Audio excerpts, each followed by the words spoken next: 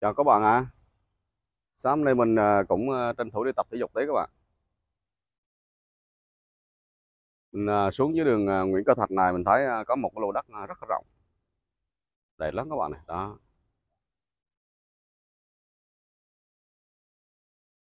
Cách một cái lô gác. À, cái lô gác nhà có chiếc uh, xe ô tô này. À, rồi đấy cái lô này đó, cái lô mà sai tường gạch đó cái lô này mình đếm ờ, phải là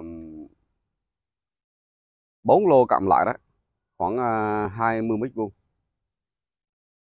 Chỉ sau thì ờ, 25 à, lô này nó đẹp là vì nó rộng mình không nói rồi mà nó đối diện có công viên nữa các bạn. Đó. Công viên của chúng ta đây.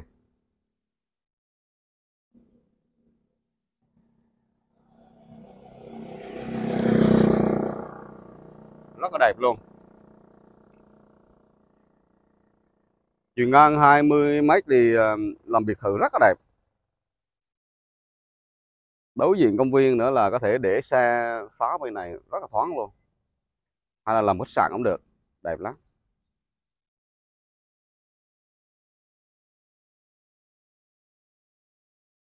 Hồi đó giá nó chỉ có ờ, vài trăm triệu thôi 600 700 vậy đó sau dần dần lên khoảng ờ, tỷ mấy con đường này, bữa nay mình hỏi là khoảng ờ, 6 tỷ gì đó.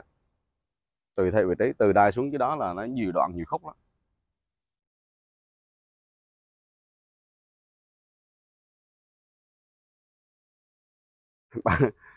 Nhìn vậy thôi chứ là vào là cả hơn triệu đô la nằm chỗ ờ, chứ không phải ít đâu. 6 tỷ và nhân lên ờ, 4 lô 6 4 4 đó, triệu đô la nằm chỗ đó đó chứ không phải rẻ đâu các bạn. Nhiều tiền lắm á.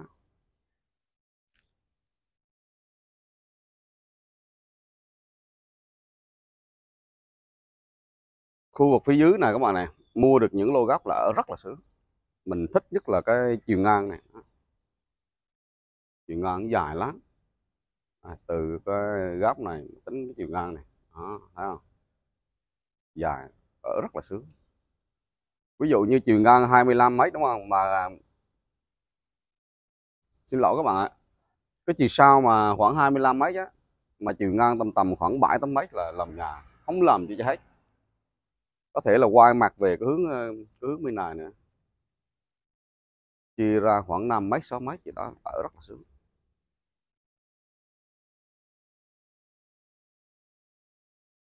Cái sau này thông thường nó có một cái đường lùn nữa đó. Cái đường luồng này gọi là đường thoát hiểm. Rộng khoảng à, một mấy. Đó. ở Đà Nẵng người ta thiết kế nó nói như vậy phía sau là có cái đường luồng. Có cái cống để à, thoát hiểm và chúng ta lắp cái điều hòa phía sau. Đó. rất là tiện nhưng mà cái khu đô thị um, Hòa Xuân mà có bên cái khu Aero á cái khu đó là Sun Group người ta làm đầu tiên ở Đà Nẵng mình chưa có kinh nghiệm. Người ta làm à, đáo kiến nhà với nhau luôn. Không có đường luồng phía sau rất là bấy giai đoạn 2 ông làm bên kia đường á là ảnh lại chừa cái đường luồng. Thực tế là hầu đó làm là do cơ quan nhà nước mình làm không có kỹ mấy anh nhắm mắt nhắm mũi mà anh ký chứ còn đúng ra là cái thiết kế đó không được ký. Ký là mình bắt buộc chủ đầu tư phải sửa lại. Ừ. đô thị là phải có cái đường lùng phía sau để thoát hiểm chứ lỡ có sự cố cháy thì chạy đâu. Sau đó anh rút kinh nghiệm anh sửa ra. Nhưng mà những người mà ở trong cái khu ờ, khu đầu tiên á, khu sinh group ở Hòa Xuân á, lại là không có đường luồn không có đường luồn rồi mà khi mà thiết anh phê duyệt ờ, mình ở là anh bắt mình chừa một mét ở một mét nào trong nhà mình á ờ, đất nào trong nhà mình mà không cho phép xây dựng cho nhiều cái đúng là bó tay. Kỳ lạ vô cùng. À, trong đây đất trống còn nhiều lắm. Đây cũng đất trống này trống này trống. Ở ngoài kia cái nhà mà hàng rào biển mưa các bạn thấy đó. Đó hàng rào biển mưa đó cũng rất là rộng. Chỗ nó hình như cũng được à, ba lô rất là thoáng rất là đẹp. Khu như này có nhà hết rồi nó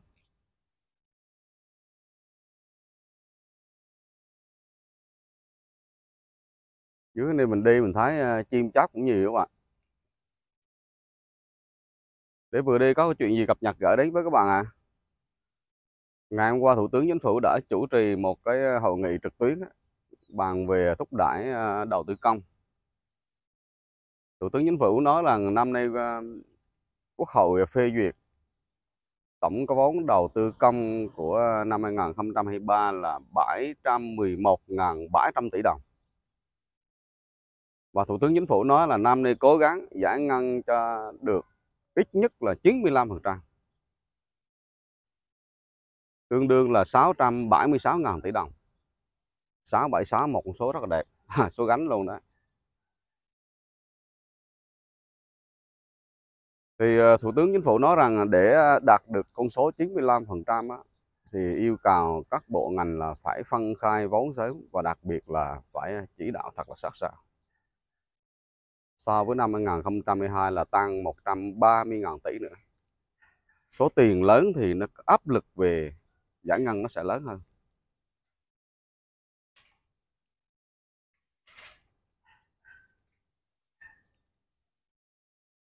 Bộ Kế hoạch Đầu tư đã có một cái báo cáo thông tin là với một số tiền lớn như vậy, khó khăn cũng rất là nhiều. Đặc biệt là có nguồn vật liệu á. À, có nguồn vật liệu là phải hết sức coi trọng. Những dự án à, bái lâu nay nó bị đình trệ là vì do cái giá nguyên vật liệu tăng quá nhanh làm cho công tác thi công các công trình hạ tầng đình trệ trong một thời gian khá là dài. Sau này chạy đua nước rút không còn kịp nữa.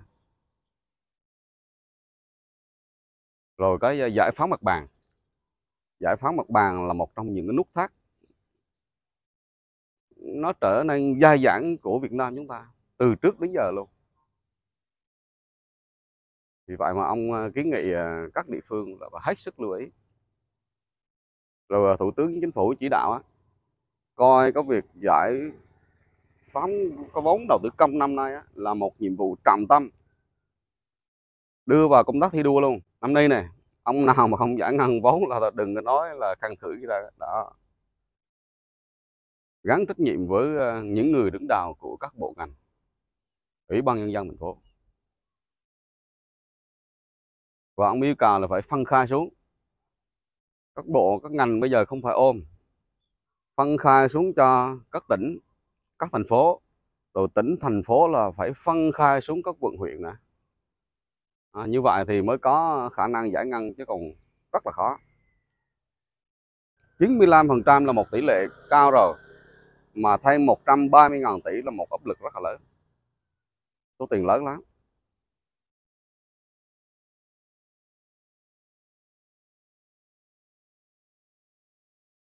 Thì năm nay các bạn biết là tình hình kinh tế nó khó khăn đó rồi ờ, thế giới có quá nhiều điều nó ảnh hưởng đến kinh tế Việt Nam mình. Tương lai cũng ờ, khó định đoán. Kinh tế trong nước thì chúng ta biết rồi, đình trệ. Vì vậy mà các vốn đầu tư công là cực kỳ quan trọng. Tất cả đều trông chờ vào vốn đầu tư công mà vốn đầu tư công năm nay mà giải ngân không đạt nữa thì rất là khó. Thủ tướng chính phủ chỉ đạo thì quyết liệt rồi đó câu chuyện quan trọng nhất hiện bây giờ là các bộ ngành và phía dưới địa phương này triển khai như thế nào. Chứ còn mình sợ nhất là cái cái thủ tục, rồi cái giải phá mặt bằng, rồi cái nguyên nghi vật liệu. Nó trở thành một cái cái vấn nạn mà nó kéo dài rất là lâu. Đang đảng chưa giải quyết được cái tầng gốc. Nay là cứ chỉ đạo là chỉ đạo vậy nhưng mà xong rồi thôi. Mọi việc rồi cuối năm cũng báo cáo là gặp khó khăn này, vướng mắc kia. Tất cả mọi thứ rồi người ta cũng đãi về hết cho những bộ luật á. Người ta nói rằng luật vướng cái này, vướng cái kia, không giải ngăn được thì cũng bó tay. Luật thì do quốc hội ban hành nữa thôi. Sao không thấy? Nhiều năm rồi. Đặc biệt là người ta nói cái luật đầu tư công là cần phải sửa đổi chứ còn người ta nói nhiều cái vướng đó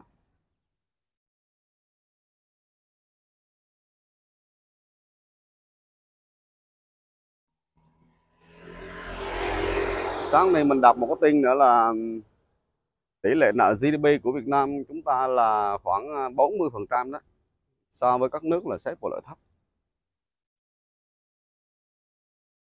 Cao nhất là Mỹ. Mỹ hiện bây giờ là 31.000 tỷ tương đương 120% GDP thứ nhì là Trung Quốc. À, Trung Quốc cũng à, cao lắm à, 14.000 tỷ. Nhật Bản khoảng ờ, 11.000 tỷ rồi phía dưới này là có Anh, Pháp, Đức, Ý và Brazil rồi ờ, Canada.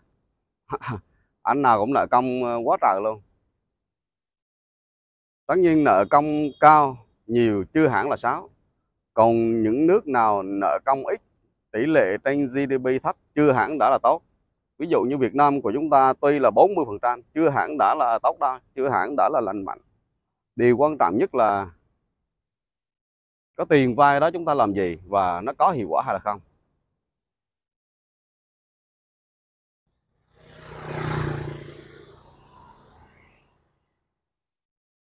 Chứ còn mà vay mà sử dụng không hiệu quả là nó trở thành một cái nợ xấu, không tốt còn có những nước tuy rằng người ta vay nhiều nhưng mà họ vay cái thời gian trả nó dài lãi suất nó thấp và sức mạnh nội tại của nền kinh tế họ mạnh á, thì không có gì phải đáng lo ngại.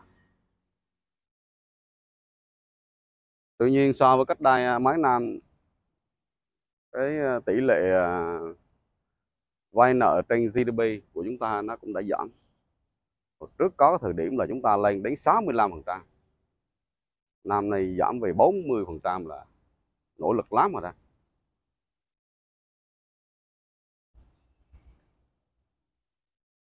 Mình à, cũng thông tin với các bạn á, sáng nay à, mình à, cập nhật lại là công ty bất động sản Novaland các bạn này, xin hoãn nợ có việc trả lãi và gấp những cái lô trái phiếu.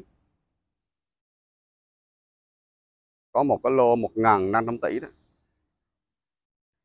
Lô 1.500 tỷ này chia ra hai cái lô nhỏ nhỏ nữa một cái lô nhỏ 500 tỷ thì lại cái lãi là 26,5 tỷ là trả tiền lãi. Cũng xin ờ, giờ cái thời hạn trả. Rồi cái lô 1.000 là khoảng ờ, 53 tỷ tiền lãi. Đó là mới tiền lãi thôi. Còn sắp tới là Novaland sẽ trình cái phương án với ờ, trái chủ á có hai phương án. Một là gia hạn có thời hạn trả lãi và trả nợ gốc. Còn phương án thứ hai là hoán đổi cái tài sản của công ty đó, đó là cái bất động sản của công ty đang xây dựng. Đó có hai phương án như vậy đó.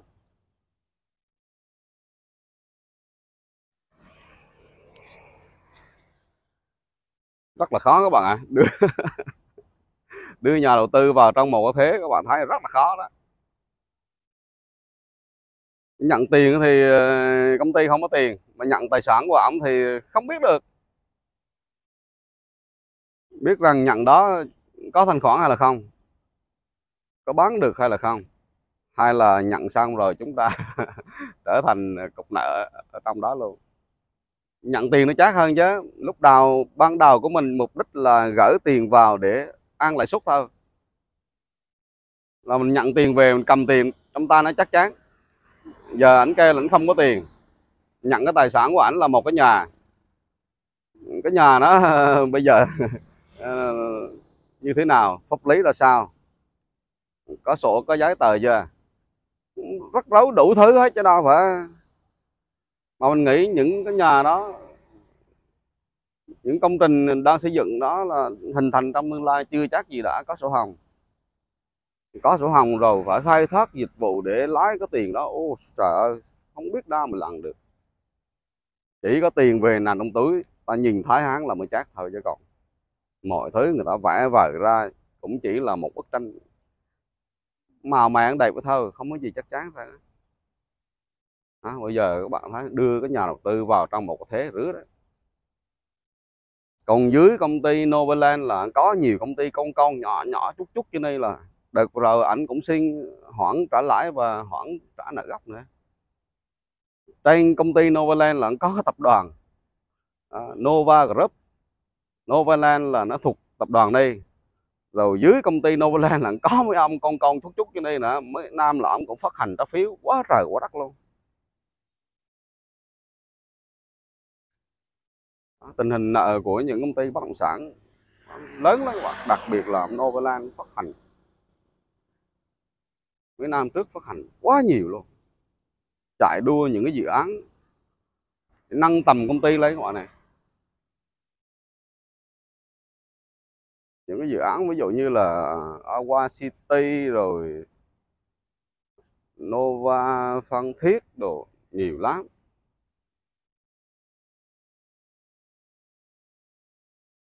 Thật ra những cái vị trí đó nó tiềm năng nhưng mà tương lai nó còn xa nó khác với Vinhome. Vinhome ví dụ như là những cái vị trí theo mình đánh giá là nó nằm ngon hơn, đẹp hơn. Thứ nhất là những cái vị trí của Vinhome là nằm ở thành phố Hồ Chí Minh, Hà Nội. Hai cái nền kinh tế lớn nhất đất nước. Dân số đông. Tiềm lực tài chính dân ở đó tốt này.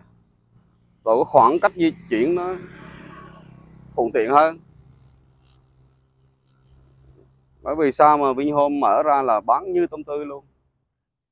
Còn những dự án của Novaland tuy nó gần sông gần biển nhưng mà nó nằm ở những cái tỉnh vùng vang thôi nó khác với thành phố Hồ Chí Minh nó khác với Hà Nội chứ. Cho nên khi đầu tư là cũng phải nhớ những cái, cái yếu tố đó. Sức tiêu thụ làm sao có thể bằng Vinhome được? Aqua City nằm ở Đồng Nai, sao bàn à, Vinhome ở quận 9 thành phố Hồ Chí Minh?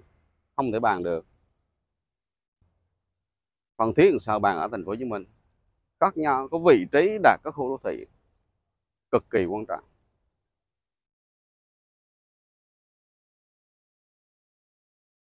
Hôm qua là nghe tin là thành phố Hồ Chí Minh có một cái à, buổi họp ừ, gỡ khó cho các doanh nghiệp bất động sản đó trong bảy dự án, trong đó có hai dự án của Novaland đó.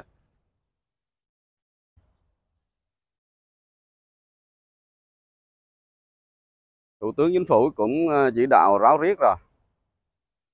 Giờ các địa phương cũng phải ờ, sắp tay vào thôi. Giỏ gì đi chăng nữa cũng phải ờ, tìm cách tháo gỡ. Được cái đoạn nào thì nó cũng giúp cho doanh nghiệp cái đoạn đó. Chứ ngồi mà nói qua nói lại đổ trách nhiệm này, trách nhiệm kia, việc thì nó cũng xong hết rồi. Trách nhiệm doanh nghiệp thì cũng thấy rồi. Trách nhiệm nhà nước, các cơ quan, chính quyền, đoàn thể của mình cũng có trong đó hết rồi. Thôi thì phải ngồi à, ngồi lại à, mổ xẻ vấn đề ra. Giải quyết được đoạn nào thì hai đoạn đó. Nếu như nó thuộc về cái thẩm quyền của thành phố, hay là của một cái bộ nào đó của chính phủ thì vẫn gỡ được. Thuộc về luật quốc hội thì nó hơi khó tí chứ còn thuộc về các cơ quan điều hành nhà nước ấy, thì có khả năng gỡ được. Gỡ được thì cũng phải cố gắng gỡ cho doanh nghiệp. Để dự án nó chạy nó chạy nó thi công nó thi công thì nó bán sản phẩm bán sản phẩm thì mới có tiền mới có tiền thì dòng tiền nó mới luân chuyển nó mới chạy. Chứ còn à, nó mắc cạt như vậy là chắc hết doanh nghiệp chết này, rồi ờ, ngân hàng chết này, à, nhà đầu tư mua sản phẩm đó chết này, rồi à, những người mà mua trái phiếu của doanh nghiệp cũng chết hết. À, đứng bánh hay luôn.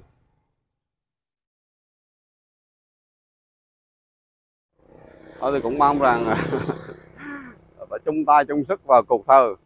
À, biết rằng à, ảnh à,